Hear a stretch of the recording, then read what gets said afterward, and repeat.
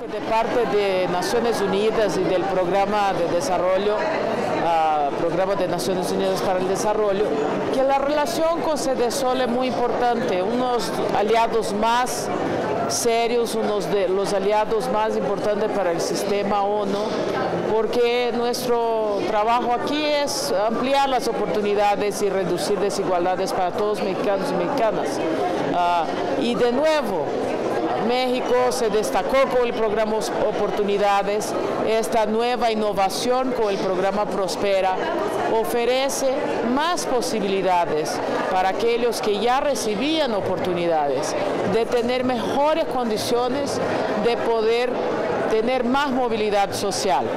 No, no sería un proceso automático, pero las condiciones están ahí con las innovaciones. Obviamente, siendo un programa nuevo, importante también evaluar